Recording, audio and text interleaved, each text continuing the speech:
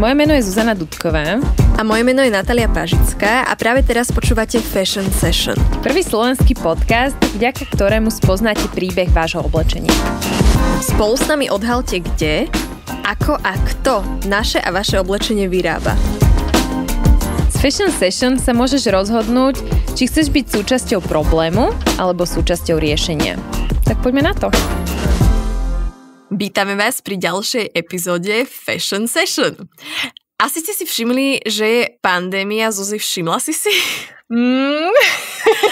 A so Zuzkou sme sa rozprávali, že by bolo zaujímavé sa pozrieť, ako táto pandémia ovplyvnila odevný priemysel a teda hlavne zamestnancov odevných fabrík. Konkrétne sa budeme v tejto epizóde baviť o kampani PayUp od neziskovej organizácie Remake, ktorá za posledné mesiace odviedla naozaj skvelú prácu a vyniesla na povrch, čoho sa obrovské značky za posledné mesiace dopustili a kto si to aj najviac odniesol. Vo všeobecnosti platí, že prírodné katastrofy a napríklad aj pandémie sa najviac dotknú tých najchudobnejších a takto vlastne e, bolo aj teraz, aj v tomto prípade. Vieme, že naše oblečenie sa prevažne vyrába v rozvojových krajinách a vyrábajú ho práve tí najchudobnejší. Tak poďme hneď na to a Natka, povieš nám prosím ťa, že ako to celé začalo a ako sa pandémia prejavila v odevnom priemysle? Oficiálne to začalo medzi 21. a 25. marcom v roku 2020 a bolo to vtedy, keď v Bangladeži 316 tovární nahlasilo zrušené objednávky od obrovských korporátnych odevných značiek. Počas korony značky zistili, že budú musieť zatvárať obchody a vieme, že aj keď boli otvorené, tak tam veľmi veľa ľudí nechodilo. A oni, teda fiškušáci, si vymysleli taký skvelý plán, že my nepredávame a teda ani nepotrebujeme ďalšie oblečenie, pretože najprv potrebujeme vybra- vyprázdniť sklady s tým, čo už máme. Takže to, čo si pred troma mesiacmi dali ušiť vo fabrikách, si zrazu nechceli zobrať. Povedali si, že však iba zbytočne stratia prachy a momentálne to oblečenie nepotrebujú, tak prečo by oni si mali nejaké nové brať a niekomu za to zaplatiť? A teda to zhrniem, že Značky zrušili objednávky, ktoré už boli vyrobené, napríklad hotové oblečenie, ktoré už bolo zabalené a pripravené na odoslanie, ale zrušili aj objednávky, ktoré boli v procese výroby, že napríklad daná fa- fabrika už nakúpila materiál, nakúpila komponenty a už sa na tom oblečení začalo aj pracovať, teda bolo rozšité. Čiže zrazu sa všetko zastavilo a k 7. aprílu 2020 bolo v Bangladeži zrušených 953 miliónov kusov oblečenia, ktoré bolo v hodnote 3 miliard dolárov. A teda, aby ste si e, to správne zapamätali, toto oblečenie bolo všetko už vyrobené a ono len čakalo na odoslanie k tým značkám. A celosvetovo sa takto zrušilo už vyrobeného oblečenia v hodnote 40 miliard dolárov. Viete si predstaviť toľko oblečenia a toľko miliard? Neviem. Neviem. No ale predstavte si ešte jednu vec, že vy ste tá fabrika a vyrobíte niekoľko miliónov tričiek a zrazu ku vám príde tá značka, teda ten klient a povie vám, že my už ich nechceme a že tie milióny vám nezaplatíme. Našťastie, vždy keď sa takéto niečo stane, tak máme na svete neziskovky, ktoré sú pripravené zareagovať a povedzme si teda, čo sa stalo v tomto prípade. Presne tak, našťastie máme neziskovky, ktoré vždycky sa snažia zasiahnuť. A teda ako reakcia na túto situáciu, nezisková organizácia, konkrétne Remake, vytvorila kampaň PayUp. Zaujímavé je, že prvýkrát sa toto heslo pay a teda zaplať, využil, využilo už v roku 2013 a to konkrétne pri páde textilnej fabriky Rana Plaza. Možno už viacerí viete, že sa takáto katastrofa v modnom priemysle stala. Bola to jedna z najväčších katastrof, aké sa kedy v modnom priemysle stali. Pretože v tejto rane pláze po páde tejto textilnej fabriky umrelo až 1134 ľudí a 2500 bolo zranených sa hovorí, že to bolo takéto šťastie, že v troskách tejto budovy sa nenašli len tela nevinných šičiek, ale aj vysačky a teda sme sa vedeli dopatrať k tomu, aké značky v tejto fabrike vyrábali. Prišlo sa teda na to, že svoje veci tu vyrábalo až 29 obrovských e, odevných značiek a čo sa potom vlastne stalo je, že spolu sa mali zložiť sumou 30 miliónov dolárov, aby zaplatili odškodné rodinám zosnulých.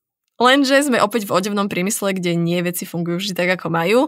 A týchto 29 veľkých korporátnych značiek, ktorých majiteľia sú miliardári, sa rozhodli, že s tým budú mať značný problém a nechceli zaplatiť tieto peniaze. A tak vznikla kampaň PayUp, zaplať, ktorá sa rozhodla tieto značky donútiť k činu, a teda aby zaplatili. A teraz táto kampaň PayUp povstala opäť, aby donútila značky opäť k tomu istému a teda zaplatiť za niečo, za čo zaplatiť majú a v tomto prípade za svoje objednané objednávky.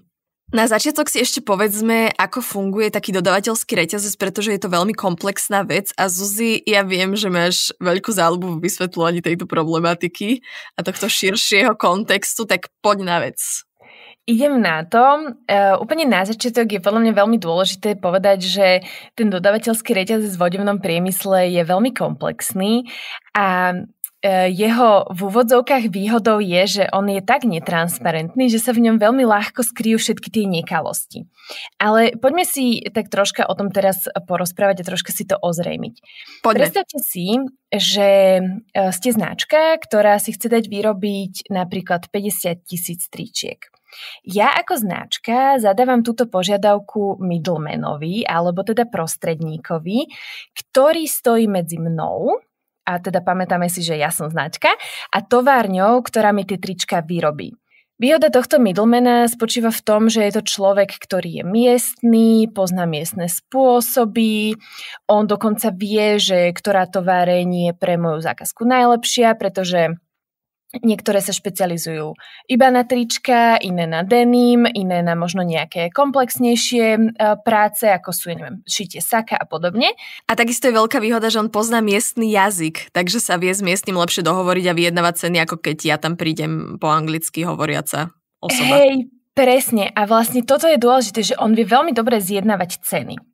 A keď ten middleman nájde továreň, ktorá uh, tú moju objednávku vezme, respektíve ktorá uh, mi to spraví za na- najlacnejší peniaz, tak sa začne výroba. Táto továreň musí z vlastných peňazí nakúpiť látku, komponenty, dať tú látku nastrihať a potom vlastne začne šiť tie moje trička. Keď sú ušité, tak ich zabalí a pripraví na odoslanie a až po odoslaní vystaví mne ako značke faktúru a ja mám na zaplatenie tejto faktúry 60 alebo 90 dní podľa toho, ako máme zmluvu. Čiže keď si to tak vezmete, to je úplne šialené, že ja všetko nakúpim, mám zaplatiť tých ľudí, ktorí to vyrobili, zabalím to a odošlem to a tá značka, ten veľký korporát stále môže čakať až 60 až 90 dní, pokiaľ mi tie peniaze za toto všetko vráti a zaplatí. Hej, a presne uh, toto je tá vec, ktorá, pre ktorú vám to vysvetľujeme, lebo sú to také dve dôležité, dve, dva dôležité body. Prvý je, že keď nastane pandémia, tak ako teraz, a značky sa rozhodli zrušiť už tieto vyrobené alebo aj rozrobené objednávky a odmietli za ne zaplatiť, tak vlastne majiteľia tovární nemajú peniaze na to, aby zaplatili šičkám za prácu, pretože tie peniaze vlastne investovali do nákupu materiálu, na tie ďalšie objednávky, ktoré si mysleli, že budú. No a toto vlastne spôsobilo zastavenie cash flow a spôsobilo, že milióny ľudí, tých šičiek, eh, ktoré nám šijú vlastne oblečenie, zostalo naozaj, že zo dňa na deň bez výplaty, ktorá im právom patrí pretože tú svoju prácu oni už odviedli. A druhým takým dôležitým bodom je, že ja ako značka v úvodzovkách nemusím mať prehľad o tom, kde sa šije moje oblečenie a veľmi ľahko strácam prehľad o tom, za akých podmienok sa to moje oblečenie šije, pretože ja len vlastne zadávam objednávku.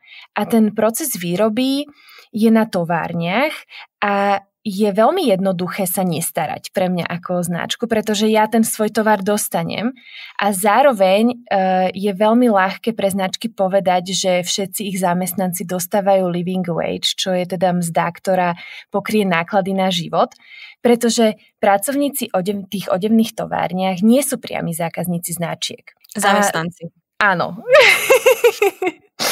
A značka sa o svojich priamých zamestnancov, teda tých e, zamestnaných v jej obchodoch, dokáže postarať. Áno, predávači a ľudia, ktorí sú v sídlach v New Yorku, hey. v Paríži, v Miláne, aj v Šangaji kľudne, tak o tých je postarané, ale o to, čo sa deje, deje ďalej, aby som povedala, že ešte dôležitejšia zložka sú práve tie šičky, lebo bez nich by to oblečenie vôbec nevzniklo. Presne. O tých, ale hlavne, že je lacné, nie? No, áno. Však uh, stále vidíme, že uh, výsledok toho nastavenia je nejaký a bez ohľadu na to, čo, čo nám tie značky hovoria, tak uh, až taký záujem o zmenu podľa mňa oni nemajú. A hlavne to sú také preteky, že si vezmi, že tá anglická značka Pretty Little Thing predávala počas Black Friday veci za 99% zľavu a niektoré veci tam mhm. stali, že 45 centov. Za chvíľu nám začnú platiť za to, že to nosíme? Je to hrozné. Keďže už sme vás teraz e, takto super edukovali o tom, ako veľmi v skrátke uh, ten dodavateľský reťazec funguje, tak Natka, povieš nám, že prečo sa vlastne Remake opäť rozhodla tú kampaň PayUp priniesť? Táto kampaň v tomto štádiu riešila tri hlavné problémy. A to, poprvé, teda ako sme si povedali, že značky nechcú zaplatiť za už vyrobené objednávky, po druhé, že nechcú zaplatiť za ten nakúpený materiál tým daným fabrikám alebo továrňam, ktoré za ňo už zaplatili a potrebovali ho na výrobu. A po tretie, že oni nielenže nechcú zaplatiť, ale keď sa už aj odhodlajú, tak žiadajú zľavy a nižšie obchodné podmienky na ten už vyrobený tovar. Takže oni nielen, že nechcú zaplatiť, ale keď už príde k tomu plateniu, tak stále sa snažia nájsť cestu, ako vybabrať s tými fabrikami a keďže tie fabriky a továrne sú zúfalé, mm. tak skôr pristúpia na to, že už radšej to zoberú zo zľavou, ako keby nemali dostať žiadne peniaze. Mm. Aké drze sú tie značky však? Úplne. Ach, mm. prefackať. a pre tieto fabriky sa vlastne kvôli tomu ten cash flow, ako si už Zuzi spomínala, úplne mhm. zastavil a ich zamestnanci doslova nemajú z čoho žiť. Poďme si to povedať na príklade takého Bangladeša, keďže podľa Global Right Index je Bangladeš jedna z najhorších krajín pre práva zamestnancov, ale zároveň je to krajina, ktorá práve žije z exportu takýchto lacných handier. V Bangladeši je cca 4,1 milióna šičiek a podľa tejto neziskovej organizácie Remake sú to z 80% práve ženy vo veku 18 až 24 rokov. Takže Zuzi, babi mladšie od nás. No, ja už by som nebola šička. Išla si do starého železa. Prepasla som túto šancu.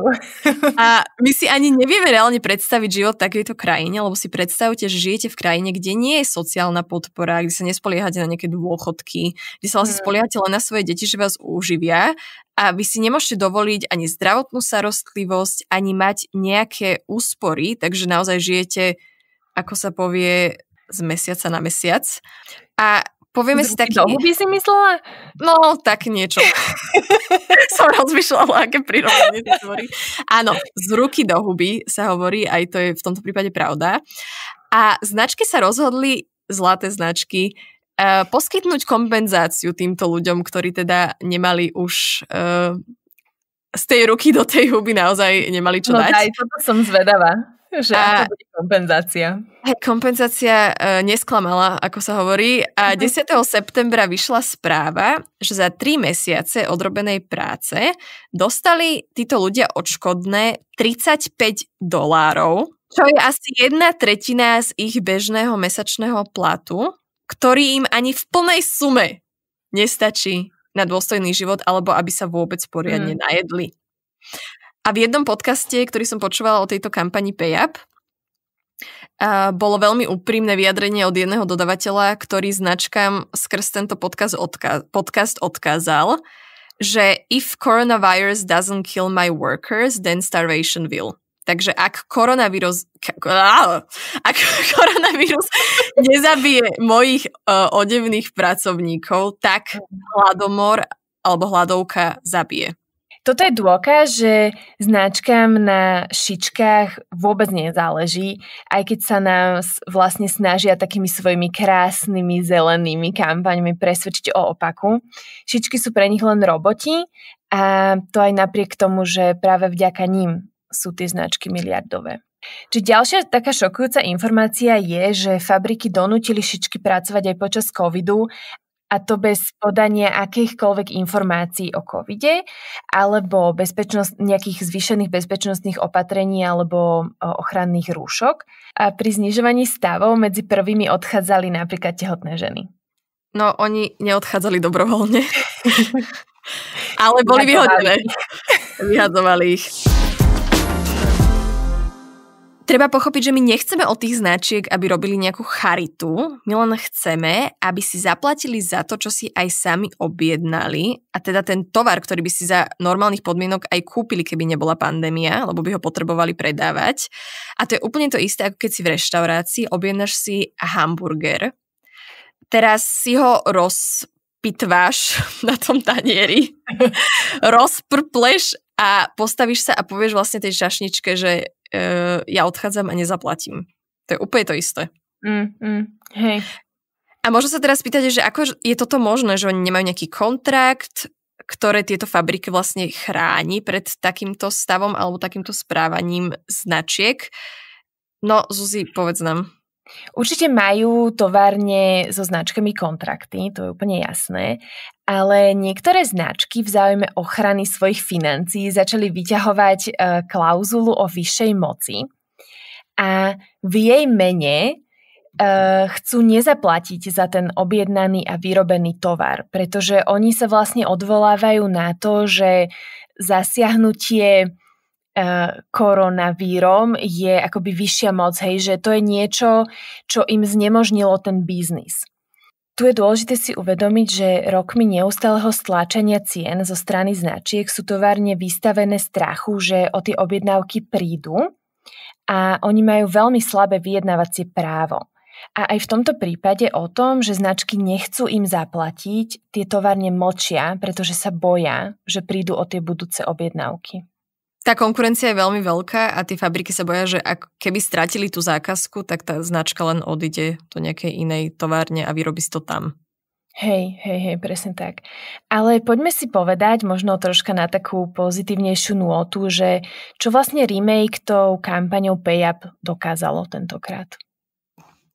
Hnutie PayUp tentokrát prišlo s petíciou, kde ľudia mohli vyjadriť svoje sklamanie z toho, ako sa značky zachovali a tá petícia vlastne mala tú pointu, že sa snažíme, aby tie značky zaplatili tým fabrikám a to plnú sumu bez vyjednávania. Uh, podarilo sa im vyzbierať dokopy 273 379 podpisov, som si to zapísala. Wow. wow. A okrem toho, okrem tej petície ešte vypracovali aj zoznam, ktorý je aktuál, aktualizovaný stále a ktorý uvádza, ktoré značky zaplatili a ktoré nie. Ideme Takže sa vlastne, pozrieť. Ideme sa pozrieť, je to vlastne taká tabula hamby. Áno, tak, tak poďme, poďme podľa mňa najskôr na tie, ktoré ešte stále uh, nepovedali, že zaplatia. Kto tam ešte zostáva z takých, čo by sme možno aj poznali u nás na Slovensku? Hej, no je tu veľa značiek, ktoré sú buď len v Anglicku alebo v Amerike, mm. ale napríklad uh, máme tu značku Belmain, mm-hmm. čo je teda uh, radená medzi tie luxusné značky. Máme tu potom Esprit, aj to máme u nás. Mm-hmm, to máme u nás. Potom slávny dizajner Oscar de la Renta, čo sa vlastne dal považovať za hot couture, takže aj takíto ľudia tu patria, alebo teda aj takéto značky. Mm-hmm. A mhm. potom napríklad ešte, čo poznáme, čo sice nemáme u nás, ale podľa mňa veľa ľudí sa s tým stretlo, je Urban Outfitters. Hej, to je taká celkom známejšia. A dáme si aj uh, nejaké značky z toho, ktoré teda uh, slúbili, že zaplatia? Uh, môžeme si dať, uh, tak poviem pár, tak tam sú takmer všetky značky, ktoré máme uh-huh. u mhm. nás. Adidas, uh, CNA, H&M, IKEA, Inditex, čiže Zara napríklad, Mark Spencer, Next, Nike a tak ďalej. Ale Zuzi, Uh, teraz sa bojím, že nepostavili sme ich na taký pedestriel, lebo to neznamená, že to neznamená, že oni určite zaplatia, hej? Hej, akurát som to išla povedať, že, že tu znova uh, treba myslieť na to, že tieto značky mali tú uh, odvahu alebo guráž v úvodzovkách povedať, že oni nechávajú e, šičky v Bangladeži a celosvetovo v štychu, pretože oni nemôžu, pri, nemôžu predávať a preto im teraz nedávajme kredit za to, že vďaka Payapu oni slúbili, že zaplatia. A okrem toho, to, že tieto značky sú na liste, e, že slúbili, že zaplatia, ešte neznamená, že aj naozaj zaplatia, pretože žiadna z týchto značiek verejne nedeklaruje a ani nepovie, kedy a koľko zaplatia. A okrem toho, um, jednou z úlo- ďalších úloh PayUpu je, aby chránilo továrne pred tým, aby tieto značky nezačali uh, zjednávať, že koľko a kedy zaplatia, pretože to je teraz taký nový trend u týchto značiek, že oni teda povedia, že zaplatia tie objednávky, ktoré boli um, vyrobené, ale ponovom chcú zľavy. A teda dodám poslednú vec a to je, že cieľom PayUpu je aj vyvinúť tlak na značky, aby zaplatili všetko a hneď. Bez liav. Tak, jak bolo napísané. A uh, treba teda pochváliť túto kampaň aj snahy remakeu, pretože uh, polovica, už viac ako polovica je slúbená a teda viac ako 22 miliard. Nie je to však update uh, v reálnom čase, pretože sa to tak často neupdateuje a neviem sa dostať k tej informácii, že koľko mm, miliard mm. je to presne teraz. Ale treba si pripomenúť, že je to slúbená alebo slúbených 22 miliard, ale neznamená to, že sa to k tým ľuďom aj dostane. A aby sme si nemysleli, že sa tu bavíme o nejakých malých značkách, tak prosím pekne, remake oslovil alebo zapojil do tejto petície značky, ktoré zarábajú aspoň 500 miliónov, ale môžu zarábať až do 2 miliard ročne. Takže majú peniaze, len sa im nechce ich dať tam, kde treba. Áno, oni majú peniaze, len si teda mysleli, že im to prejde bez povšimnutia, čo našťastie mm, neprešlo. Mm. Inak je to dosť trápne, že sú na tomto liste, nie? No, otázka je, je že prečo sa, prečo sa tam dostali v prvom rade. Dostali sa tam preto, lebo sa rozhodli, že ututlu a nezaplatia, uh, pretože, ako sme si povedali, tieto značky majú peniaze a tieto firmy nežijú zo dňa na deň. Napríklad mm-hmm. je mhm. veľmi pekný fakt to, že napríklad ich akcionári dostali vyplatené všetko včas do posledného centa počas pandémie, takže tí už raz bohatí ľudia, ktorí vlastne nejaké shares alebo podeli v tejto firme, alebo teda v nejakých značkách, dostali zaplatené a teda sú pre nich asi podstatnejší ako tie samotné šičky, ktoré to oblečenie vyrábajú. A povedzme si to aj na prípade iba jednej jedinej osoby, čo je teda majiteľ Inditexu pán Ortega. Uh, Inditexu značky ako Massimo Dutti, Zara, Berška a tak ďalej. A jeho majetok je momentálne, keď pozerám teraz na stránke Forbesu, uh, worth akože má majetok v hodnote 73,4 miliard dolárov. Má, mohol by aj všetko sám zaplatiť, ale nevieme, či k tomu dojde. Ale pána Ortegu si určite zapamätajte, lebo my ho budeme pravdepodobne celkom často spomínať. Uh, ja by som ho inak veľmi chcela kaučovať. Uh, teda koučovať.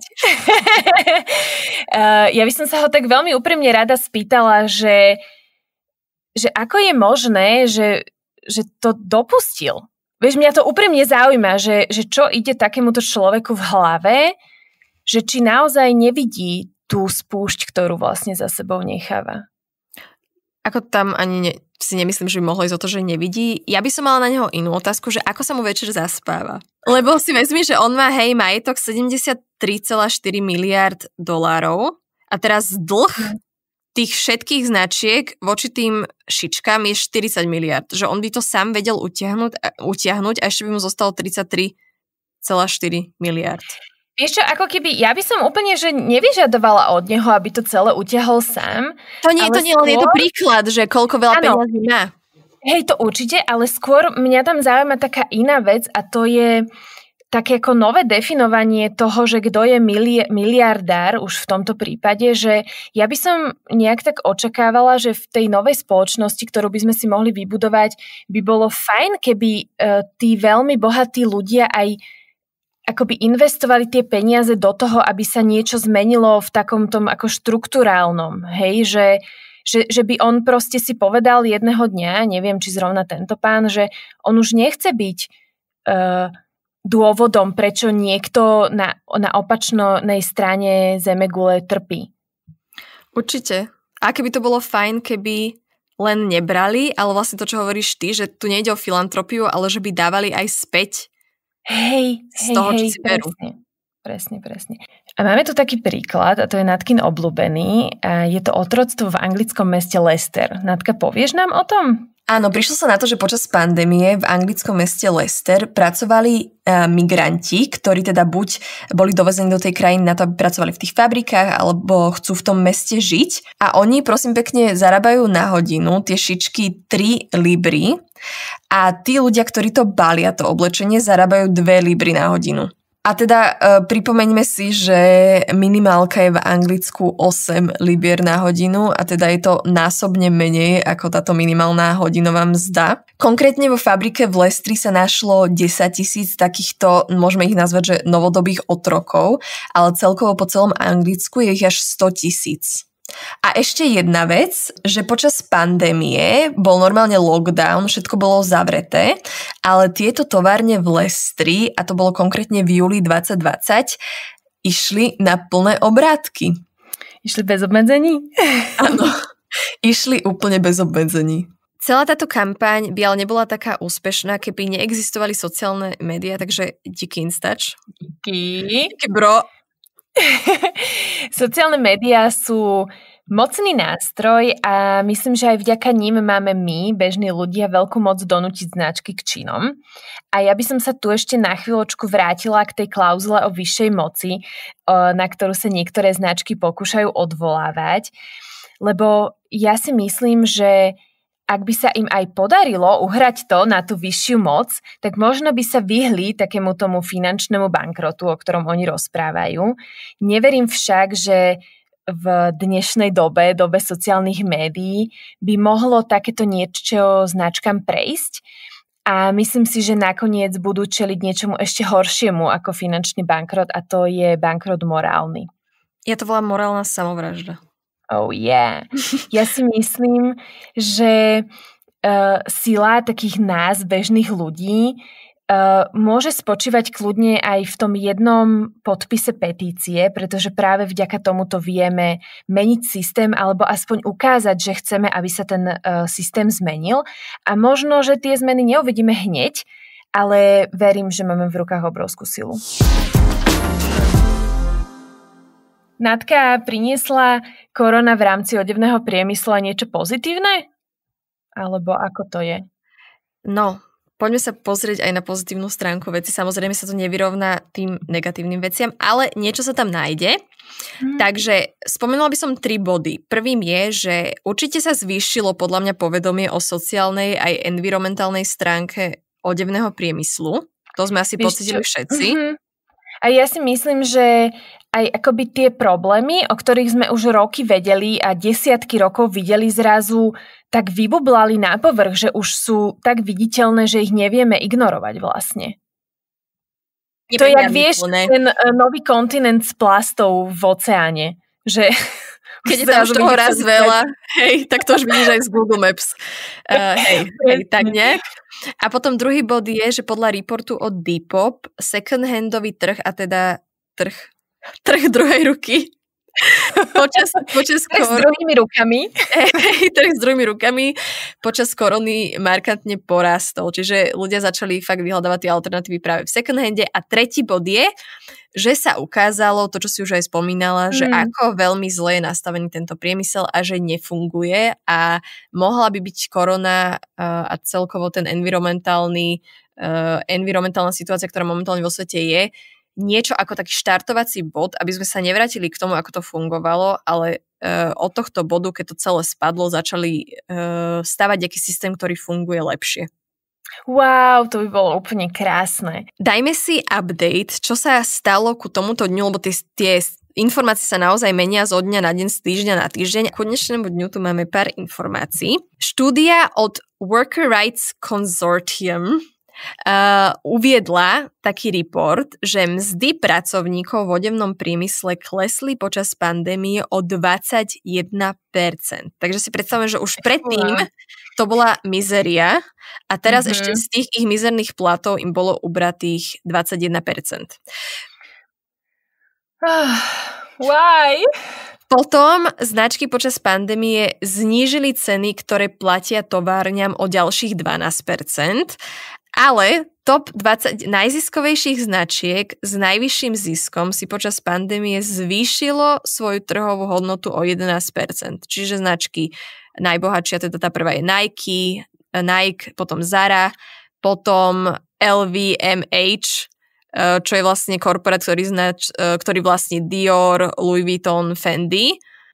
Takže eh, pomimo tú pandémiu sa týmto značkám darilo a to značky ako Zara, Nike a Adidas tento spolu značiek dosiahli obrovské pandemické zisky spolu až v hodnote 11 miliard dolárov. No, oni sa riadia tým, že každá kríza je príležitosť zbohatnúť. zbohatnúť. Čiže ke, kým sa niekde percenta uberali, tak niekde percenta pribúdali.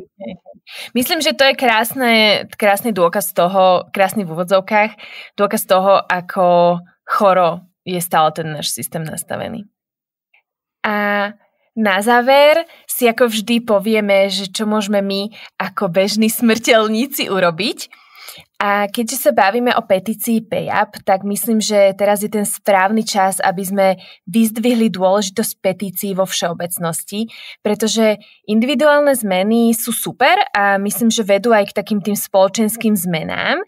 No ak máme možnosť ako občania sa zapojiť ku zmenám aj systémovým, tak určite neváhajme a myslím, že takú jednoduchú vec ako podpísať petíciu zvládne každý z nás a naozaj nám to niekedy vie trvať trvať len pár sekúnd.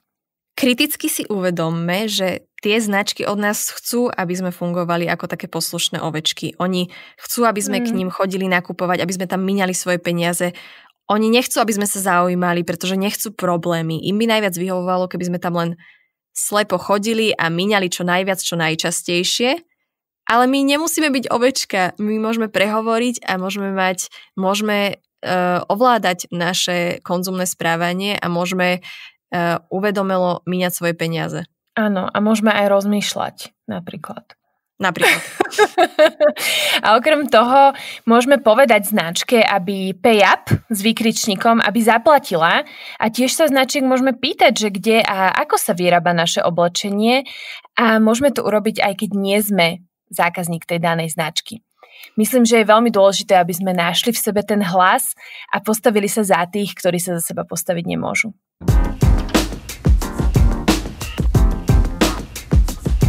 Takže ďakujeme, že ste si aj dnes vypočuli náš podcast Fashion Session. Ak sa vám náš podcast páčil, zdieľajte ho ďalej, aby sa o tejto téme dozvedelo čo najviac ľudí. Pre ďalší nával inšpirácie sledujte naše sociálne médiá. Mňa nájdete ako zavináč Natalia Pažická a Zuzku na platforma udržateľnosti alebo Zuzana D. Zoberte si to, čo sa vám páčilo a ostatné nechajte tak. Ďakujeme. Do skorého počutia, kamoši. Čaute.